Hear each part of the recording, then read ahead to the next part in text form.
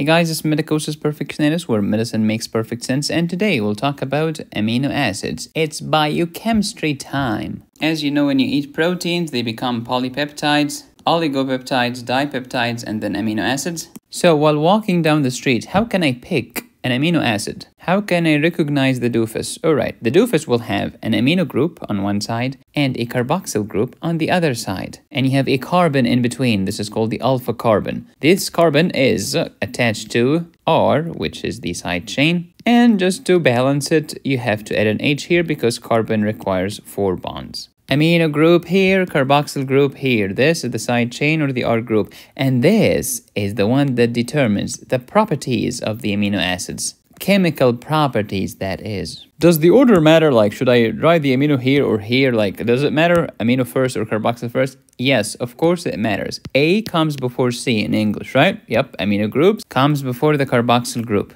Here's the beauty of the amino acids. They have their amino group and their carboxyl group attached to the same freaking carbon, known as the alpha carbon. Is there an exception? Of course. Every rule has exceptions. This is GABA. GABA stands for what? Gamma amino butyric acid. Say it one more time because it was so beautiful. Gamma amino Gamma. You know why we call it gamma? Yup, indeed. Because it's a gamma carbon, which is three carbons away from the carboxyl one. So after the carboxyl, you have alpha, and then you have beta, and then you have gamma carbon. In English, we read from left to right. Same thing with amino acids. We read from the amino group towards the carboxyl group. Why do we care? Because this is the order of the amino acid coming out of the freaking ribosome on the rough endoplasmic reticulum, if you remember. The ribosome makes the N terminus first before the C terminus. That's why we care. Here are amino acids, they become peptides, and then they become proteins. These are the macromolecules, these are the micromolecules. Polymers, monomers. Amino acids are divided into proteogenic and non-proteogenic amino acids. The difference was discussed in the previous video in this playlist called MCAT Biochemistry. Each amino acid has a name, it has one letter abbreviation and a three letter abbreviation. Normally, you should have hemoglobin A. Sickle cell disease patients have hemoglobin S. What's the problem? A substitution. Instead of glutamic acid, now you have valine at amino acid number 6.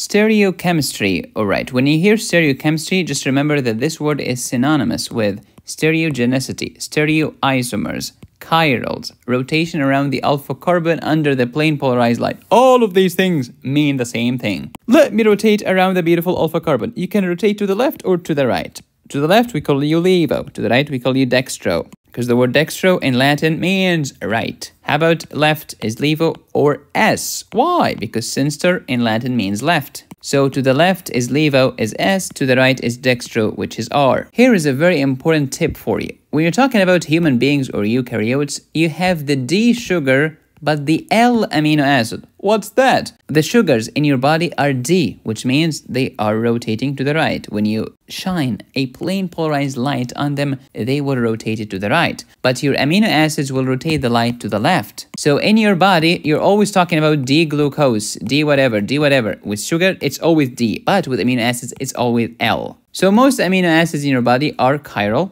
Translation, to the right or to the left? To the left. We're talking about amino acids here. Okay, therefore S or R, S, sinister, left. Do you have any exceptions? Of course, cysteine is an exception. Why? Cysteine is rotating to the left. However, it's not S, it's R. Why is that? Because cysteine has CH2SH and this takes priority over the carboxyl group. And that's a story for another time. Look at this, what's that? Amino here. Oh, this is rotating to the left, therefore levo, therefore S. How about here? Oh, the aminos on the right side. This is right, this is dextro, this is R. In your body, do you have this one or this one? Of course I have the levo. The amino acids in your body are L. That's why your proteins are losers. I'm joking. Just to belabor the point of left versus right, in ophthalmology or optometry, the right eye is referred to as oculus dextrus or OD. The left eye is referred to as OS, oculus sinistra. Let's classify those doozy amino acids. First group, nonpolar, non-aromatic side chains. This is alanine, this is glycine. Oh, by the way, glycine is the smallest amino acid.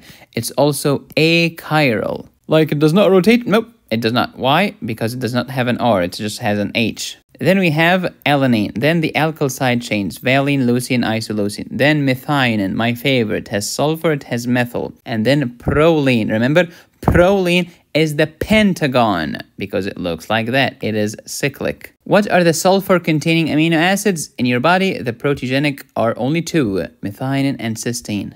Next, aromatic side chain amino acids, tryptophan and phenylalanine, which becomes tyrosine. All right, tryptophan, double ring and double whammy. Why? Because tryptophan can give you niacin, it can also give you serotonin, which will become melatonin. So it has two different pathways, as we have discussed before in my vitamins videos. Phenylalanine can give you tyrosine. How come? Just add an OH. You mean, uh, like, when I add an OH to phenylalanine, it becomes tyrosine? Yep. That's why phenylalanine is non-polar, relatively, but tyrosine is relatively polar. You know why? Because you added OH. No duh. These two lovely amino acids have something called benzyl side chain. What the flip is benzyl? Benzene ring plus CH2 group. Do you remember the story of the adrenal medulla? Sure. Phenylalanine, tyrosine, dopa, dopamine, norepinephrine, epinephrine. You see that? That is SAM. Where did SAM come from? Methionine. What is SAM? A methyl group donor. Where did it get the methyl group? From methionine. Because methionine contains methyl, it also contains sulfur. Third group, amino acids that are polar with non-aromatic side chains. Let's go. Serine, threonine. By the way, they have an OH. And then cysteine. It has thiol group. Thiol is SH. What are the two sulfur-containing proteogenic amino acids? Cysteine and methionine. Thank you. Amide side chains, asparagine, glutamine. Group number four, the negatively charged. Oh, these are acidic, baby. Therefore, aspartic acid, glutamic acid, they are acidic. And aspartic acid can give you aspartate. Glutamic acid can give you glutamate when you deprotonate them. What do you mean by deprotonate? Remove an H. Aspartate and glutamate contain COO negative. You know why? Because the aspartic acid glutamic acid had COOH. When you remove the H, hashtag deprotonation, you removed the freaking proton, you will end up with COO negative because the H is gone. So these are COO containing. How about asparagine and glutamine from the previous slide? They were amide containing. Group number five, the positively charged are basic. B with P, P with B, and B with P. Examples, arginine, lysine, histidine. Arginine, 3 nitrogens. Lysine, terminal primary group, has NH3. We have great stories about lysine coming up next. And histidine, it has an imidazole ring. What's the flip is imidazole? Aromatic ring with 2 nitrogens. 2, not 3. To remember that arginine has 3 nitrogens, you can say it R-threonine.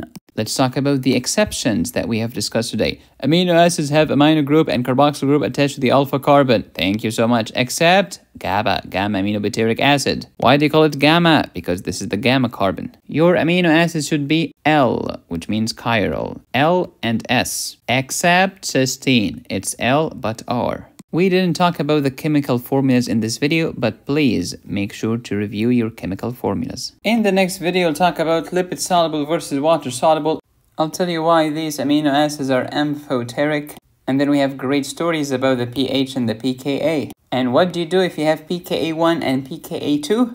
And we'll study these crazy titration graphs. Do you remember valine, leucine, and isoleucine? Yep, they have alkyl side chain. They are also branched amino acids. What's the name of the enzyme that breaks them down? It's called branched chain alpha keto acid dehydrogenase, and this enzyme is deficient in a disease known as maple syrup disease. If I don't have this enzyme, valine, leucine, and isoleucine will accumulate in my body, causing symptoms. So let's review maple syrup urine disease from Picmonic. Maple syrup urine is depicted by the maple syrup urinal there is defect in alpha ketoacid dehydrogenase, the broken afro key with acidic lemon dehydrator.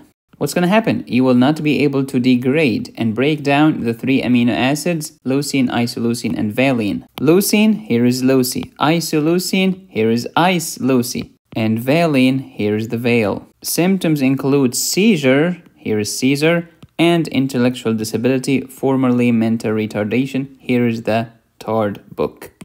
For more wonderful mnemonics like this, go to picmonic.com slash VIP hookup slash medicosis. Question of the day is here. Try to answer it and you'll find the correct answer in the next video. If you want to learn more about the pH, check out my acid-base imbalance course on my website medicosisperfectionalis.com. Thank you for watching. Please subscribe, hit the bell, and click on the join button. You can support me here or here. Go to my website to download my premium courses. Thank you for watching. As always, be safe, stay happy, study hard. This is Medicosis Perfectionalis, where medicine makes perfect sense.